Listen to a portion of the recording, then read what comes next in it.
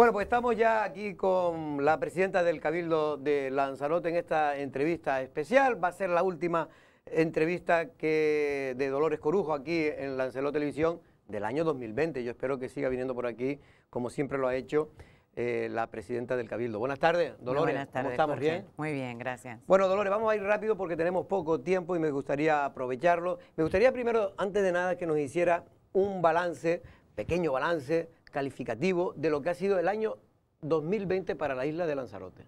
Ha sido un año muy duro. Ha sido un año muy difícil, donde nos ha puesto a prueba a toda la sociedad en su conjunto, a la sociedad insular y a la sociedad en el mundo. Pero yo me quedo con que hemos sacado lo mejor de cada uno de nosotros. Me quedo con la colaboración, con la empatía, con la solidaridad del pueblo conejero. Y creo que hemos sabido enfrentarnos a una situación sin precedentes, pero con muchísimas dificultades, sin lugar a duda, eh, lamentando el fallecimiento de nueve, pers- nueve personas en nuestra isla producto del COVID-19, pero también con la grandeza y con la fortaleza de haber sido capaces con unidad de salir de esta situación. ¿Usted destacaría alguna acción, alguna acción en concreto del Cabildo de Lanzarote durante el 2021?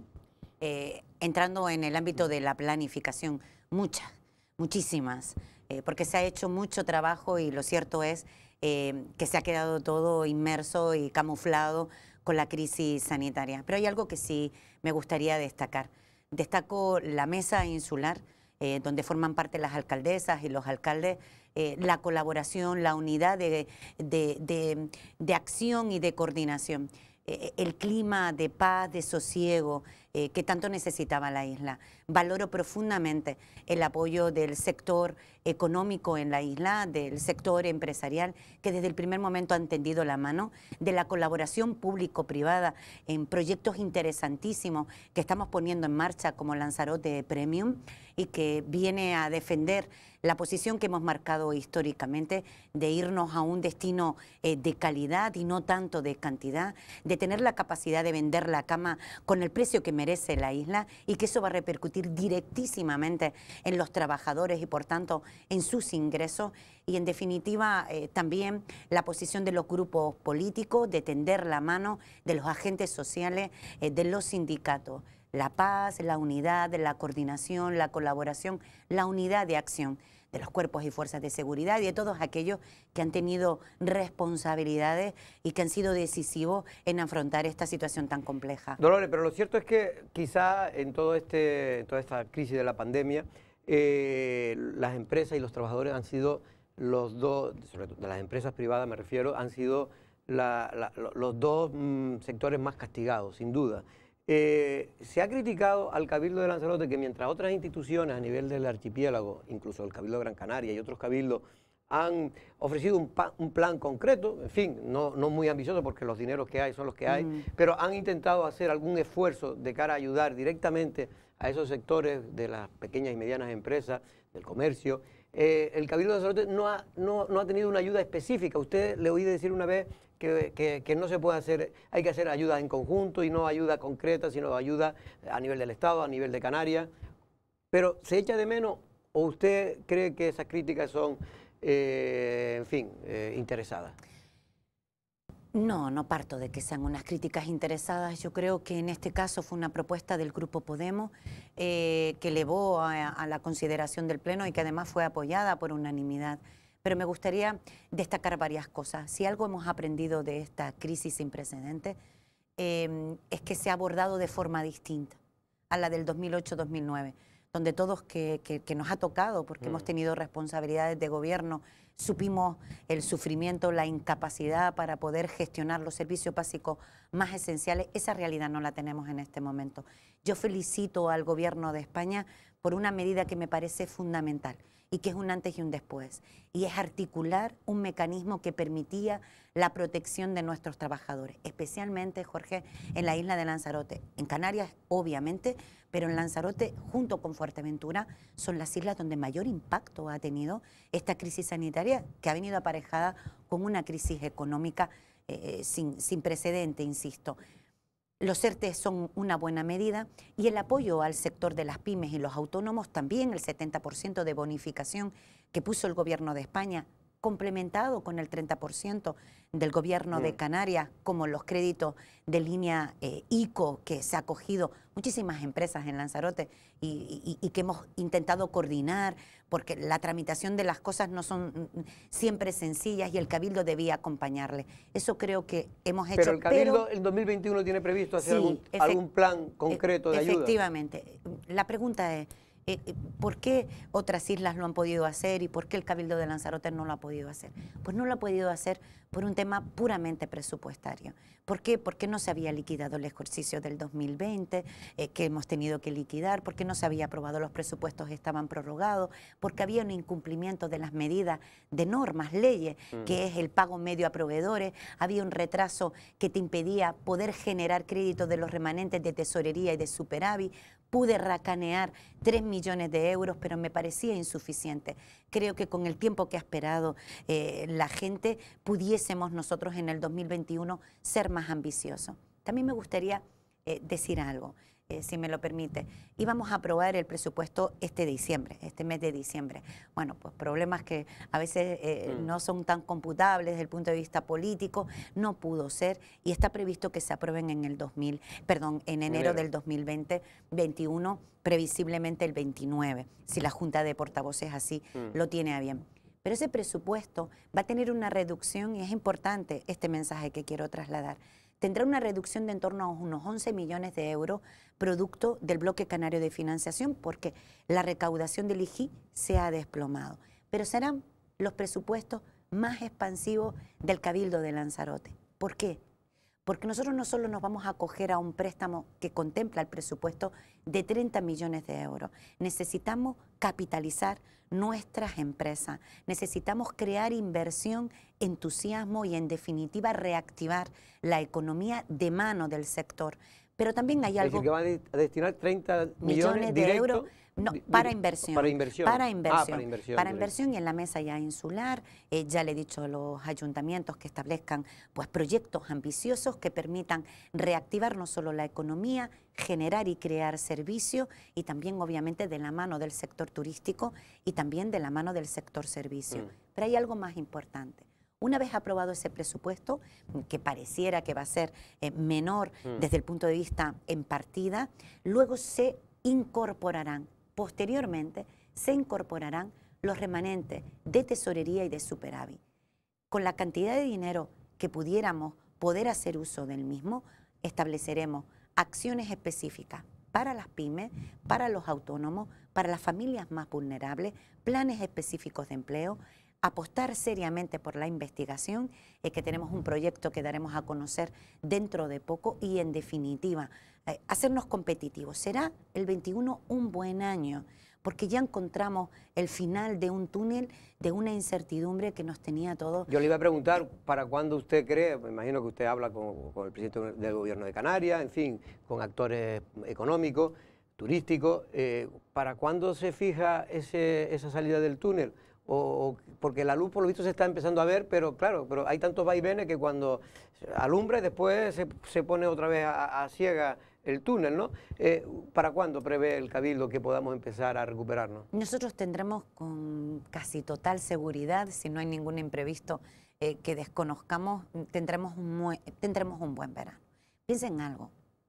Eh, Canarias compite con otro tipo de destino, con Oriente Medio, podemos mm, con América, con determinadas zonas mm. donde efectivamente, aunque seamos un destino consolidado, tenemos una fortaleza que no tienen otro tipo de competidores.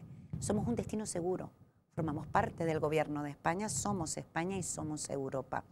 Y además nuestros indicadores sanitarios y la control, el control de la crisis sanitaria se ha hecho con errores y con aciertos, como siempre, pero se ha hecho francamente bien. Por tanto, la gente quiere venir a Canarias y quiere venir a un destino, insisto, seguro. Y será así, y será así. Pero la confusión, yo estoy eh, totalmente de acuerdo que la gente de que pueda venir vendrá y elegirá Canarias rápidamente, en otra cosa, porque además del paraíso que lo somos como paraíso climático y paisajístico, lo somos también ahora en seguridad, como usted bien decía. Pero la, gente se pregunta si no necesita Canarias, porque usted está diciendo, y es lo que dicen los actores económicos, que hasta el verano, bien entrado el verano, no se va a ver la luz de, manera eh, clara eh, de ese túnel, ¿no? Eh, no, la oposición está preguntando, el PP, también Coalición Canaria, a nivel del Parlamento, donde ustedes también es parlamentaria, están solicitando un plan de rescate específico para Canarias desde el gobierno de España y de Europa. ¿No cree que Canarias merece, por su estructura económica basada prácticamente su economía en el turismo, un plan específico de ayuda a empresas y trabajadores? Bueno, yo, yo parto de algo y, voy a hacer la reflexión en voz alta, porque lo he hecho con todos los agentes económicos en la isla y también en el conjunto del archipiélago. Eh, cuando hablábamos de PCR, de antígeno, puertos, aeropuertos, yo siempre dije algo mm, y lo mantengo en mi posición es eh, cuidado. Cuidado porque estamos hablando de una pandemia. Eh, no es un virus que trae un gobierno, no afecta a un país, no afecta a una comunidad autónoma, afecta a un planeta. Hoy, desgraciadamente, estamos viviendo con mucha preocupación lo que está ocurriendo en Reino Unido. están confinados, la situación es francamente delicada y en Alemania exactamente igual. Y son nuestros principales mercados emisores. Eh, ¿Se pueden establecer medidas de acción? Sí. Los, recursos son finitos. Los recursos del Estado son los recursos de todo. Y creo que el nivel de protección y de colchón que se ha mantenido, de verdad, eh, para las familias más vulnerables, para el sector económico en nuestro país, ha sido importante. El enorme esfuerzo que se ha hecho. Canarias es una de las comunidades autónomas donde más se ha visto beneficiada por la articulación de la medida de los ERTE, de protección a la familia, porque somos los que más... Los más afectados. Y seremos los más afectados, pero seremos los primeros en salir de esta situación también. Pero Dolores, lo que están diciendo del sector empresarial es que se ha aguantado 2020 con, con, las medidas que usted ha dicho, que bueno, más o menos se ha escapado mejor que más bien que mal, pero no se sabe cómo se va a escapar en los meses que resta hasta el verano. Ahí es donde está el problema. No, eh, desde la autoridad de Canarias, el propio gobierno de Canarias no debería de estar mirando la posibilidad de exigir al gobierno, pedir, sino exigir, pedir al gobierno medidas específicas que puedan salvar la economía de tantos canarios y empresas que pueden fallecer en el intento de, persistir en, los próximos meses hay abiertos. hay sectores eh, en el ámbito turístico eh, que han sufrido mucho y que fueron precisamente los que nos salvaron de la anterior crisis. Recordaremos cuando se desplomó la construcción. Eh, ahora parece que es a la inversa. Eh, a mí me, cualquier articulación de cualquier medida se tiene que ver la viabilidad, la sostenibilidad y los dineros que hay para poder afrontarlo. Eso es así. Pero me angustian mucho las pymes, me preocupan mucho las pequeñitas empresas, que es en definitiva, Jorge, los que son los principales representan el 90% de generadores de empleo mm, y de creación de empleo, de empleo directa. Me preocupa mucho eh, porque además tenemos, en toda crisis siempre nos conlleva la reflexión y el análisis, ¿no? pero es, eh, tenemos que ser competitivos, tenemos que digitalizar a nuestras empresas y tenemos que acompañarlas en ese camino. Y hay algunas que, que lo están pasando francamente mal y otras muchas también que van a tener que cerrar sus puertas. Pero usted sabe que normalmente el, el sistema capitalista en el que estamos las empresas chicas viven de la, de la generación de economía que crean las grandes. Efectivamente. A nivel tanto del Estado, de Canarias, como en Lanzarote. Por eso decimos en la campaña que ha puesto el Cabildo eh, y que además hemos también coordinado eh, con la Cámara de Comercio, pero que eh, es importante consumir en, en, el comercio local, el de proximidad, hay que protegerlo. De ahí cuando venía la ministra y vino la ministra eh, a presentar el proyecto y la campaña. Hoy pensemos eh, que no se trata de ir a grandes mm, sitios, que sí que está muy bien, mm. pero que si tú compras en el pequeño comercio que tienes al lado de casa o en tu barrio, estás ayudando a tantísimas familias que lo están pasando francamente mal.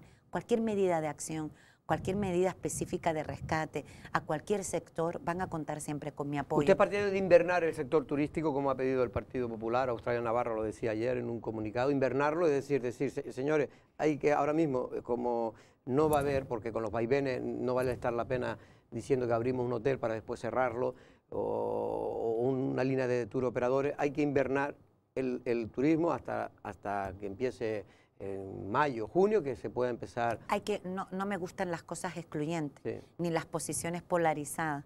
Creo que se puede convivir. Nosotros estamos trabajando en corredores seguros y llevamos haciéndolo. España, junto con el gobierno de Canarias, fue la primera comunidad autónoma que exigió PCR en origen para tener garantizado Pero ella lo, que, lo, que, lo, que, trata de decir, Presidenta, no es tanto lo que usted está diciendo. Lo que, está, lo que ella pretende decir es que, que dadas las circunstancias económicas en las que se encuentra ahora mismo Europa, con el tema del turismo, que no, no pueden viajar, está prácticamente cerrado todo Europa, y el mundo. Y el mundo, pero lo que nos afecta a nuestros clientes, me refiero a los canarios, eh, que es el, sobre todo el turismo inglés, alemán y los países centrales de Europa, eh, lo, que, lo que vienen a decir es si realmente lo mejor es dejarnos ya de pequeñas medidas, sino decir, señores, de aquí hasta de enero hasta junio el sector turístico no, no, va a haber, no va a haber sector, no va a haber economía. Es mejor invernarlo que nos den ese plan de ayuda concreta y, después ya, pues como usted bien dice, que se espera que, se pueda eh, de alguna manera recuperar de manera activa eh, este, este sector.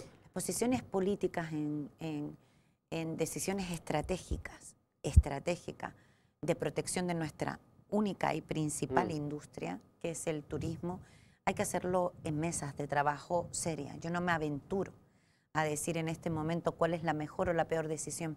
Eh, tú puedes hacer un análisis comparativo de lo que está ocurriendo en el conjunto de Europa mm. y la situación es preocupante. Efectivamente, lo que siempre dijimos, garantizar la seguridad en nuestro destino, que cada uno haga su trabajo en lo que le corresponde. Cabildo de Lanzarote, junto con todas las administraciones, con los cuerpos y fuerzas de seguridad del Estado, en colaboración con la gerencia y la dirección del área de salud, hemos establecido nuestro protocolo nuestro protocolo de seguridad para saber cómo comunicarnos, cómo coordinarnos, cómo ser más eficientes, más efectivos. Hemos puesto un sistema de detección temprana de aguas residuales, hemos puesto informadores que van por las empresas, por todos los espacios para decirle a las personas cuáles son los riesgos. Hemos establecido corredores seguros, hemos apoyado al sector en peticiones eh, que resultaban absolutamente razonables. Hemos acordado con los agentes sociales, con los sindicatos, cuáles eran las medidas más idóneas. ¿Qué quiero decir?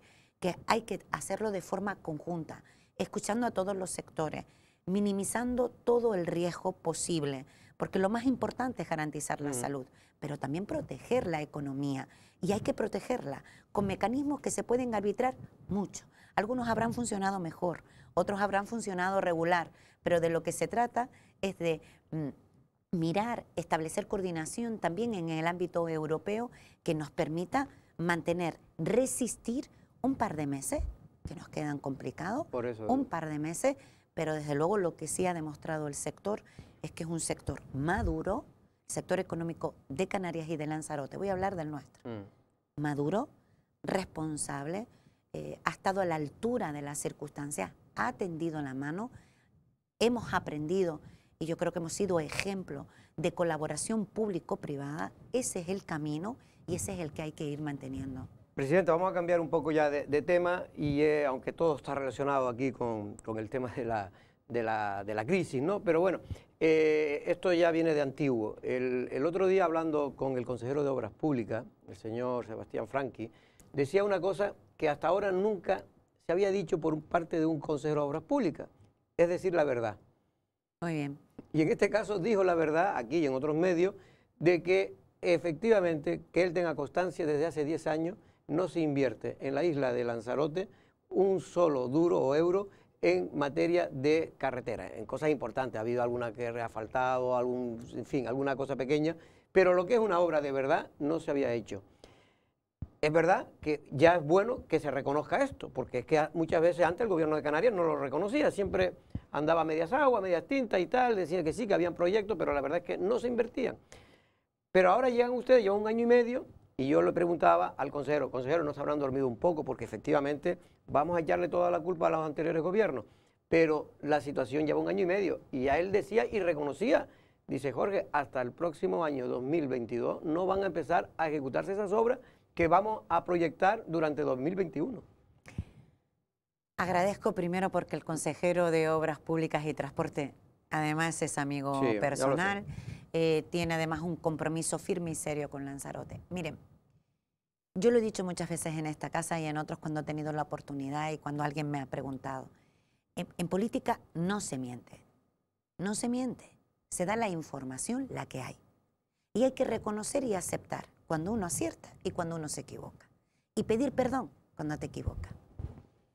En Lanzarote se ha vendido muchas cosas, se han dicho muchas cosas en los últimos 10 años, del anterior gobierno del Cabildo de Lanzarote. Mucho, Jorge.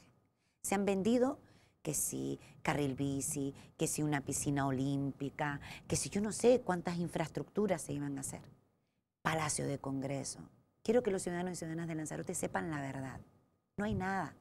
Por no haber, no hay sur. Pero ahí también gobernaban ustedes ¿eh? y el Partido Popular. No, voy, a, voy a hablar 10 años de Pedro Sánchez. Yo siempre digo una cosa. La presidencia del Cabildo, que tengo el honor de representarlos a todos y a todas, tiene la obligación. Lo malo siempre es de la presidenta. Y lo bueno es de todos. Y yo tengo que reconocer lo que ocurre. Y lo que ocurre es que en apenas un año y medio se han adjudicado los proyectos. Porque miren, para que la gente nos entienda, mm. cuando no hay nada, cuando hay un folio en blanco, no hay nada, ni siquiera hay peticiones propias del cabildo para que se hagan las cosas, ni se habían comisiones de trabajo, ¿qué se va a hacer? Se invirtió en Lanzarote 3.000 euros en materia de carretera. ¿Qué hemos hecho? Planificar. Insistir al consejero. el año y medio elaborar este han planificar. No, y adjudicar proyectos. Tú no puedes hacer una casa sin un proyecto, ¿verdad? Sí, sí, sí. No se puede hacer una carretera sin un proyecto. Y no estamos hablando de una carretera ni de un vial de 100 mil euros. Estamos hablando... Primero adjudicar el proyecto. Primero es hacer el proyecto, después adjudicarlo. Aplaudan, después licitación. Aplaudan lo que... Pero aplaude, por favor, lo que se ha hecho. Que no había nada. Ahora por lo menos sabemos que tenemos proyecto y que vamos a adjudicar obra. Pero es que hace 10 años ni había proyecto, mucho menos iba a adjudicar una obra, ni había ni siquiera propuestas hechas por el Cabildo. Es lamentable. Entonces, lo que quiero decir es, Lanzarote... Yo solo quería decir que si en este año y medio no se ha podido avanzar más, simplemente porque evidentemente se ha partiendo de que no había nada. Se ha avanzado tanto que se han adjudicado proyectos. Se ha avanzado tanto que hemos incluido en el convenio Canarias-Estado el eje norte-sur en la isla de Lanzarote. Se ha avanzado muchísimo. Se han elevado proyectos ya específicos para el eje norte. ¿Y qué obras destacaría de las que se pueden ya, eh, digamos, acometer en 2022? Bueno, ya la conexión que nos preocupa mucho, ya no solo la del hospital, eh, que hay una, eh, una salida mm. de aceleración que va a comunicar con la circunvalación. Mm. Eso es fundamental, para nosotros porque nos preocupa, ¿saben? el hospital, punto estratégico y aquello es una situación peligro. En fin, pues producto de, de malas mm. Planificaciones que se han hecho y que debemos asumir todos. De malas planificaciones y de no haber hecho nada. Y de no haber hecho nada, efectivamente. Luego eh, tenemos también la ejecución en el cable de otro carril de aceleración. Se adjudica eh, próximamente el proyecto del eje de Órsola, eh, de Guatiza a Órsola. Puedo destacar algunas de ellas y luego están las ambiciosas. Mm que esas en las que queremos duplicar, la LZ4, la que va a Puerto del Carmen, esa es fundamental, ya tenemos ya dos carriles, vamos a ampliarlo y así permite desde la circunvalación del eje norte-sur llegar a Playa Blanca y comunicar que, que, lo necesitamos, que cualquiera eh, mm. que lo vea sabe que es una auténtica necesidad. En fin, eh, ahí estamos, ¿no? Bueno, y con eh, nueve meses de pandemia por medio. Efectivamente, pero bueno, en cualquier caso, como siempre, nosotros siempre pedimos más, porque hay que pedir más para que, para que se intente hacer lo máximo posible. ¿no?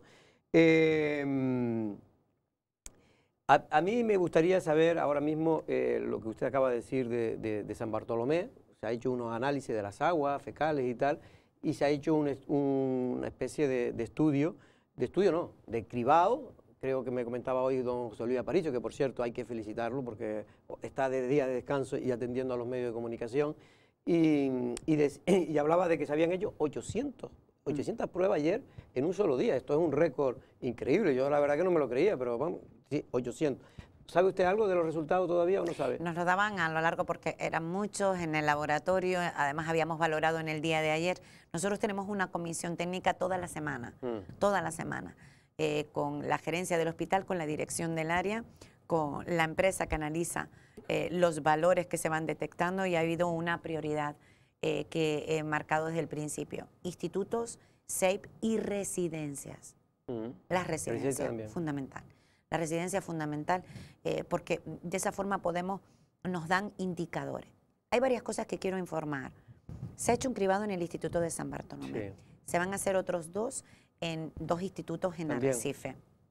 Y como ahora no están mm, eh, eh, ejerciendo en clase, eh, pues se les ha invitado a ir al COVID Auto.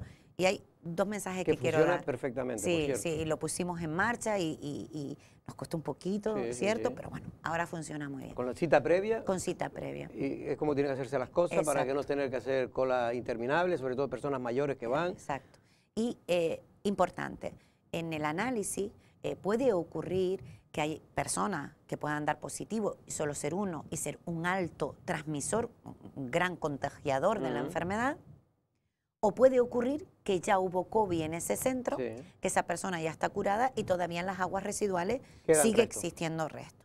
¿Qué quiero decir? Que el alto porcentaje de las aguas y de su análisis no es directamente proporcional con el número de personas enfermas Mm. sino que puede ser que uno disparate, como nos ocurrió con una persona de Gran Canaria, Sí. o puede ocurrir que la enfermedad ya estuvo en el centro, pero ya se fue. Eso es Es importante decir, que como en San Bartolomé, por ejemplo, no hay que asustar a la gente. No hay ni en San Bartolomé ni ahora, Ni ahora en el cribado que se va a hacer en- Es importante mantener el nivel de tensión sabiendo y siendo conscientes que estamos en una pandemia. Pero eh, quería trasladar Mm. este mensaje igual que quiero felicitar a nuestros jóvenes. Quiero felicitar en mi nombre y en el de toda la corporación a todos los universitarios de la isla de. Lanzarote que cursan sus estudios fuera de la isla, o bien en Península, o bien en cualquier ciudad europea, o también en Canarias. Han llamado en torno a 1.600 personas solicitando la cita previa. Saben que hace tres meses me adelanté porque era un tema que me, la verdad, me, me- me tenía bastante preocupada, porque todos sabemos que la transmisión de la enfermedad viene directamente relacionada con la movilidad. Y son muchos los chicos nuestros que se van a venir a pasar sus fiestas navideñas con sus abuelas, con sus abuelos, con sus padres y sus madres, poniendo en riesgo la vida si no tenemos un nivel de control previo. De hecho, hay dos casos, eh, le puedo decir, porque lo, Sí. lo- lo hemos sabido, que hay dos estudiantes que han dado que, que han dado, y gracias a que se ha detectado aquí, pues se, se evi- se ha evitado que se pueda... y eh, poner en riesgo la vida de las- nuestros seres más queridos. claro. Por eso, ¿qué quiero decir? Que lo hemos hecho, bueno, eh, con errores Mm. seguro, pero hemos intentado hacer lo mejor que hemos podido con todos nuestros recursos, adelantándonos. Y hay que felicitarles, porque igual que en verano fuimos críticos con ellos cuando se hacían las sí, fiestas sí. y hubo situaciones que tuvimos que lamentar y estuvimos casi en 600 casos en la ciudad de Arrecife, eh, pues miren, eh, ahora eh, pues ellos están dando respuesta madura y siendo responsables. Pero yo le voy a decir una cosa, porque ocurre muchas veces en política, ¿no? Que una buena idea como era, no lo del autocovid que ha funcionado perfectamente, me refiero lo que hizo el gobierno de Canarias, del tema de, de facilitar laboratorios gratuitos a todos los canarios que ten- tuvieran que viajar en fiestas navideñas a, a Canarias, que era una idea, yo creo que yo la felicité porque era muy importante, pero en cambio hubo falta de información y sobre todo al concentrarse todo el mundo viaja en más o menos la misma Sí. fecha, estaban desbordados los laboratorios. Nos han llamado tres o cuatro padres y algún que otro estudiante diciendo que han estado hasta cuatro horas y cinco horas esperando para poder hacerse una prueba anti-COVID. ocurrió una cosa. No era tanto el número de canarios nuestros que, que venían para casa, sino un número importante de personas que también querían pasar las navidades, el turismo nacional Mm. en Canarias. Entonces eso se desbordó. ¿Por qué? Porque precisamente todas esas empresas eh, que, de laboratorios privados que, que- que hacían las pruebas tenían, me- eran, tenían mejor precio, más competitivo.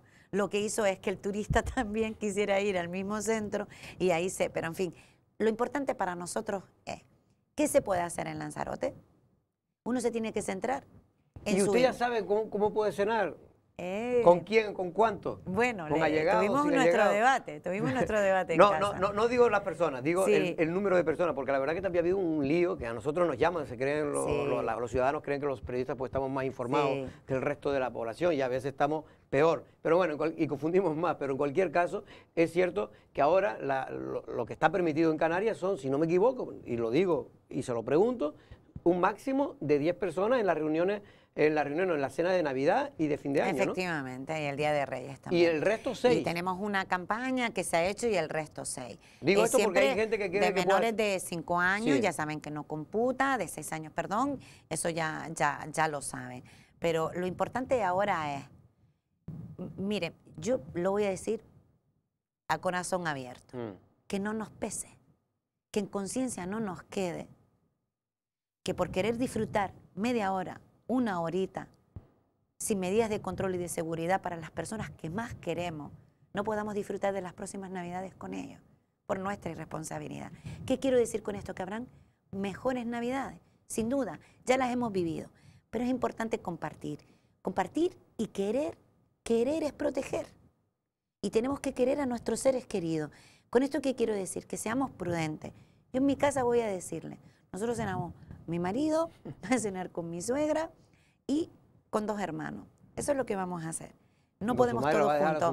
no, no, pero primero, primero ah. vamos a yo a mi casa, en mi madre y, y, así lo compartimos. Mi madre vive al lado y ah, nosotros somos como la misma unidad familiar, puede casi no, decirse, ¿no? Le quedan gente, pero pueden ir más gente, ¿no? Pero quiero decir con esto, no, hemos separado ah, para que no haya y que todos podamos compartir con otras personas. Y habrá otras navidades para el próximo año que serán pues las que vivimos el año pasado, pero ahora no es posible y tenemos que hacer y quiero aprovechar este momento, lo digo de verdad, mm, el último esfuerzo, ya vemos la solución, ya hay esperanza, ya hay antídoto, ya hay vacuna, pero las navidades es una situación de verdadero riesgo y lo hemos hecho bien en Lanzarote. ¿Por qué? Porque la gente ha estado a la altura de las circunstancias, porque las administraciones han sabido coordinarse. Último esfuerzo, último esfuerzo. A partir del 20 de enero podremos valorar cuál ha sido el impacto de la incidencia del COVID en esta fiesta. Y si todo sale bien, ya estamos vacunando. El 27 de diciembre llegan aquí las vacunas. Ya Irán a la el 27, como en toda España. Y vendrán a vacunar y comenzará la vacunación en las residencias. Primero la residencia. Las residencias, luego ya los colectivos más vulnerables. Después la sanitaria, Eso ya, efectivamente, y, ya serán los propios centros logísticos los que van valorando. ¿Qué quiero decir con esto? Que seamos prudentes prudente, que tenemos indicadores buenos, pero eso no nos puede permitir que nos relajemos. Eh, Presidenta, ya me están diciendo que se nos está acabando nuestro, nuestro tiempo. En Fuerteventura hay una, ahora mismo una crisis en el cabildo de, Fuerteventura. Está su compañero Blas Acosta. Se ha visto obligado a expulsar a dos personas del grupo gobierno por no, en fin, no apoyar o no, no asistir a un pleno importantísimo, como usted bien sabe, que es el de los presupuestos y en este caso pues quedar, no pudo aprobar los presupuestos de, la isla de Fuerteventura, del Cabildo de Lanzarote. Em, primero, ¿cree que Blas será capaz de reconducir la situación? Yo no, no, no, no conozco bien la mm. situación, no sería justo mm. dar información que no tengo. Solo puedo decir es que eh, el Cabildo y Blas como presidente ha hecho un trabajo extraordinario en medio de la crisis. He tenido una colaboración muy estrecha han sido meses muy convulsos, muy difíciles. Nos ha puesto a prueba todo como sociedad. Y, de verdad, yo lamento eh, que Canarias siempre tenga que ser noticia por estas cosas, ¿no? Espero y deseo que le vaya bien. Espero y deseo, francamente, eh, que consiga esa mayoría, si, si parece que ha cesado a dos consejeros. Eh, lo deseo. Digo, digo porque se está planteando incluso de hacer el pacto a la Lanzarote, que es pactar con el Partido Popular, digo. Sí, no, no lo sé. No lo, no lo sé. Eh, lo que sí deseo es que, eh, que a Fuerteventura le vaya bien.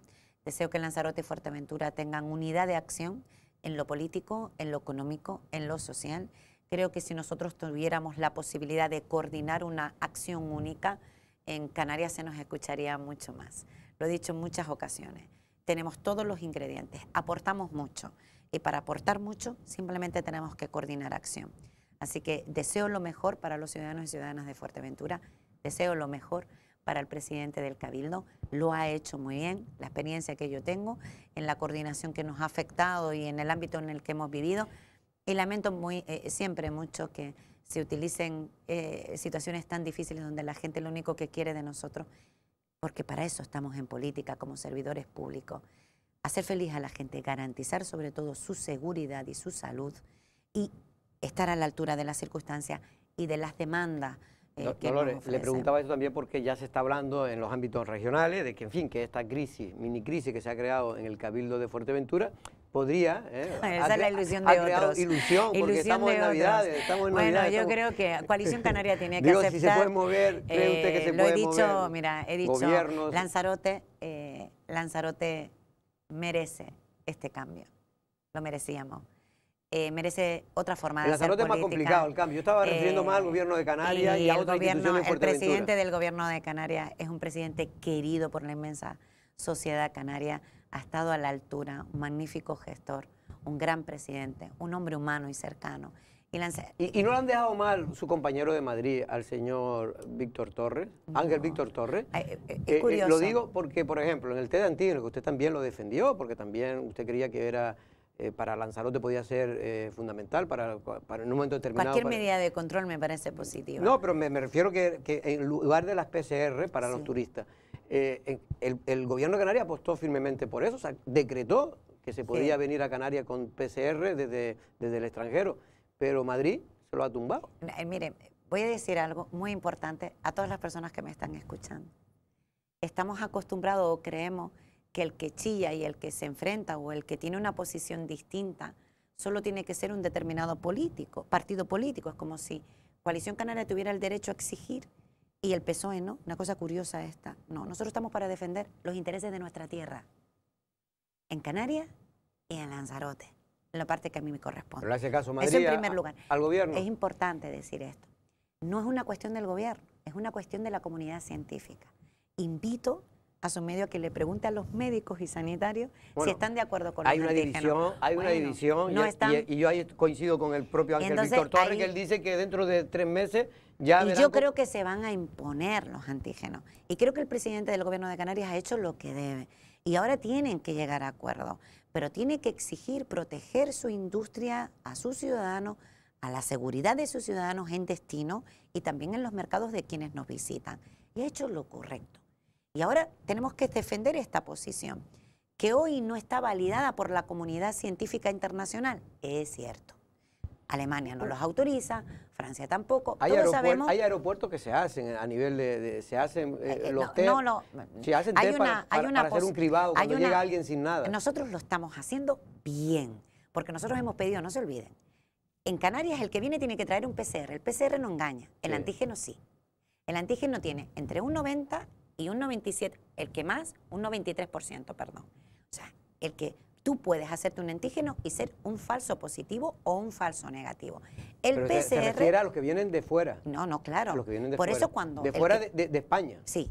PCR, al extranjero. Sí, sí, al extranjero. Y aquí hemos hecho lo mismo con nuestra gente.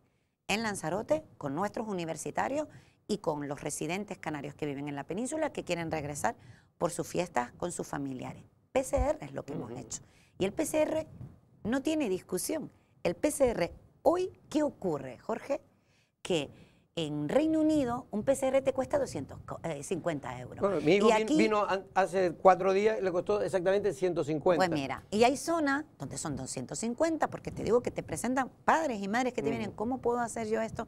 Y es muy caro en el conjunto de Europa. Sin embargo, en España te lo puedes hacer por 60 euros. Y esa es la realidad.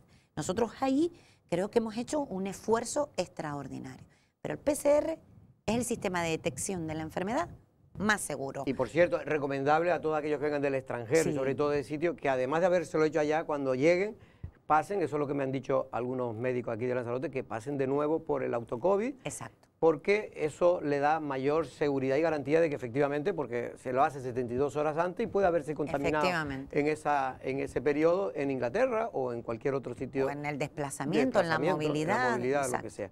Presidenta, nos tenemos que ir. Eh, mm, por cierto, el, tema de, mm, de Stratus, no sé si usted eh, ha seguido, no, es un caso que no le viene a usted ni muy de cerca, porque usted era alcaldesa ya en la, parte final, eh, pero está la Geria también en San Bartolomé cuando usted era alcaldesa. usted sabe que un caso muy mediático, finalmente han salido todo el mundo absuelto. ¿Cómo valora esa, ese caso? Eh, eh, como lo he dicho siempre, no hago ninguna valoración de ninguna sentencia. No lo he hecho nunca. Soy absolutamente respetuosa con la separación de poderes. Hay una sentencia en este momento que creo que no es firme por lo que he podido leer.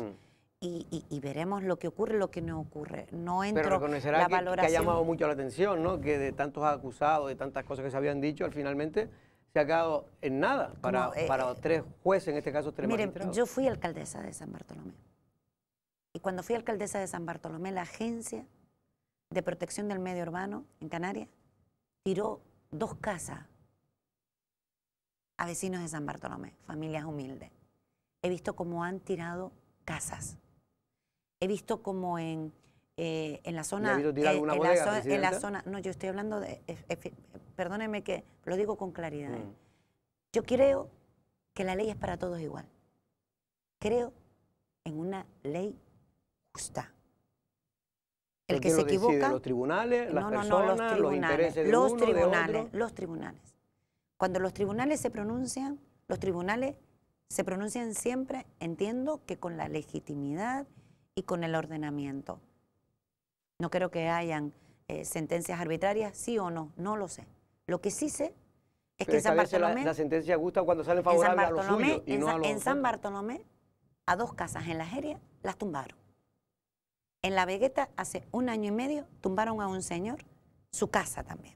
Pero lo metieron en la cárcel a esa No, gente. yo, yo no, no sé. No, porque de en, esa- nada en de- el estrato lo que se pedía era eh, cárcel. ¿eh? Yo no estoy hablando, estoy hablando que la- defiendo una ley para todos, para el que tiene y para el que no tiene. Eso es Loli Corujo. Y eso lo he hecho siempre y lo he defendido siempre. Yo no entro a cuestionar ni a hacer un análisis político de una sentencia. Quien lo haga, creo que se equivoca. Presidenta, nos tenemos que ir ya ahora, ahora, ahora sí, pero eh, ¿va a seguir los centros turísticos abiertos a pesar de que el turismo parece que, que, por desgracia no va a venir en estos próximos meses? ¿Va a seguir todo igual? Los centros eh, turísticos seguirán manteniendo su actividad. Eh, hay que resistir, hay que resistir, hay que proteger, hay que cuidar. Pero no se el- el que viene a Lanzarote, reducir, hoy porque yo- yo, venían- creo que es positivo que sigan Hoy venían eh, un grupo de Pero personas de la reducir, península, a- hacer un- de la península, donde nos pidieron pues información eh, sobre la restauración de los centros, sobre la visita y demás. Nosotros estamos abiertos, abiertos al mundo con control, con seguridad. Eso es lo que tenemos que hacer. Y pido encarecidamente para el 2021 que dejen a los trabajadores de los centros turísticos tranquilos, que les dejen vivir un 2021 en paz. A ellos y que a se todos los olviden trabajadores, a todos. No, estoy hablando porque me estás preguntando de Ya, los ya, de pero- siempre. es hay que- una es que hay otros que obsesión. no viven tan Hay tranquilos. una obsesión. Están, afortunadamente han tenido un gobierno de España que les protege. Están inertes mucho. Los que no A- las a- a- administraciones, los cabildos y A el lo- a los cabildo trabajadores de los centros y el también los protege el la- gobierno de todos España. y los trabajadores públicos y los del sistema canario de salud y los de los juzgados y los de y los cuerpos y fuerzas de seguridad, en fin. Pero Dolores, es muy No disparate. di- enfrentemos ¿Cree, cree usted que es un crea- disparate mira, decir yo sé que les simplemente cuesta. se re- pueda reducir la plantilla en un momento Mire, determinado si, si no hay empleo para toda esa plantilla? El disparate, Simplemente. el disparate es y la obsesión es querer hacer daño. Vine, ¿Pero por qué cree usted que quieren hacer daño a la gente? pero permíteme. ¿Pero por qué? Pero si es una cuestión permite- puramente empresarial. Bien, me permites la reflexión. Sí. La administración está para proteger, no para desproteger. Yo no estoy obsesionada con nada ni con nadie. Eso es otra época. Vino la paz, créeme. Vino la tranquilidad. Vino no. el consenso.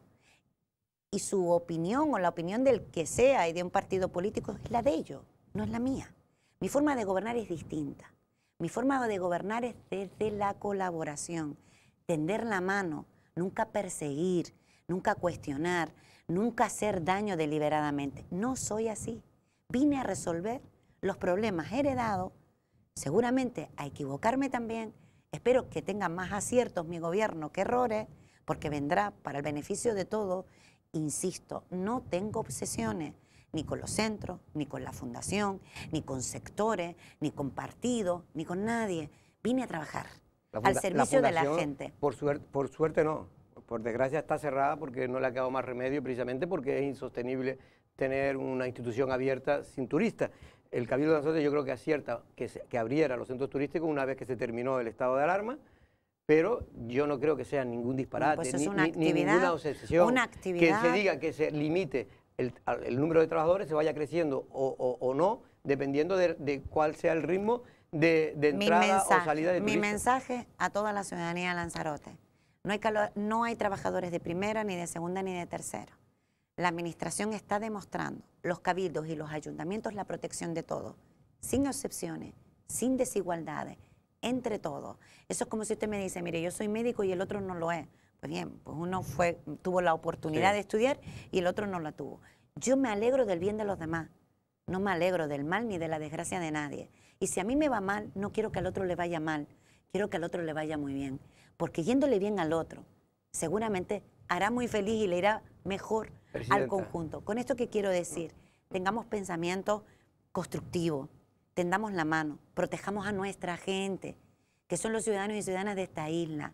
Cientos más de 163 mil estamos casi de ciudadanos y ciudadanas de nuestra tierra. Hay una contradicción. Usted dice que el gobierno de España protege a todos los trabajadores. A todos. También a los de los centros turísticos. a todos. Me refiero a que, si se fuera y la presidenta del cabildo está. La presidenta del cabildo está para proteger a todos. Y lo hemos hecho bien. Y lo hemos hecho bien. Y en los momentos de dificultad se sabe quién quiere construir, quién saca lo mejor y quién va por la vía fácil, la sencilla la del empobrecimiento, la de la persecución. Y en esa, eh, en esa liga, a mí ni me encontraron en el pasado. A mí no me meten en esa liga porque yo simplemente lo, único que digo es que no es un concepto simplemente empresarial. Somos diferentes. Que se tiene que hacer en las empresas públicas. Usted tendrá su criterio y yo se lo respeto, pero no creo que se esté persiguiendo ni sea obsesivo buscar. Durante 10 años solo decir simplemente, porque yo soy partidario creo que es necesario que los centros turísticos estén abiertos, pero que si hace falta, como en toda la empresa, un hotel abre y si tiene 10 turistas, pues tendrán menos, menos trabajadores. Durante 10 años solo se habló de los centros turísticos. Los trabajadores eran lo peor que le había ocurrido a la sociedad insular.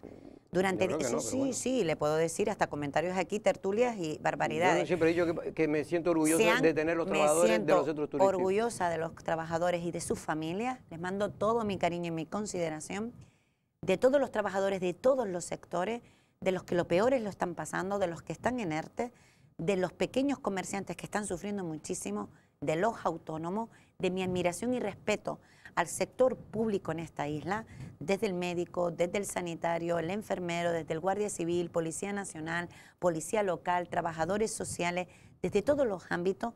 Somos una gran sociedad, somos un gran país, somos una gran isla y en los momentos de dificultad, proteger. Dolores, proteger. me, echan, me echan. De usted las felicidades al pueblo de Lanzarote como presidenta del Cabildo, eh, la felicidad o si quiere lanzar algún mensaje, pero 20 segundos. Bueno, pues yo eh, aprovecho para desearle a todos los que nos están escuchando eh, unas felices fiestas, esperanza y mucha salud. Decirles que eh, me siento francamente, de las cosas más bonitas que me ha pasado la vida ha sido representarlos como presidenta del Cabildo, que espero y deseo no fallarles, que he puesto lo mejor de mí y mi gobierno para protegerles, que el 2021 será mejor, sin duda, y que seamos muy prudentes en estas Navidades que permitamos tener una Navidad segura, que las siguientes serán infinitamente mejor que esta. Que me siento francamente que les felicito por la enorme responsabilidad, por lo bien que lo hemos hecho y que insisto que desde la unidad, desde el consenso, desde la protección, desde la empatía, desde el ponerte en el lugar en el otro, es como se hacen sociedades eh, como las que somos, abiertas al mundo y sobre todo tremendamente competitivas. Así que felices fiestas, a cuidarse mucho y ser muy prudente en estas Navidades. Dolores, muchas felicidades, mucha suerte para el 2021. En este caso también se lo deseamos a todos ustedes. Este mensaje de esperanza lo compartimos, el mensaje de que sea 2021 precisamente un año mucho mejor para todos y sobre todo para aquellos que peor lo están pasando. Buenas tardes.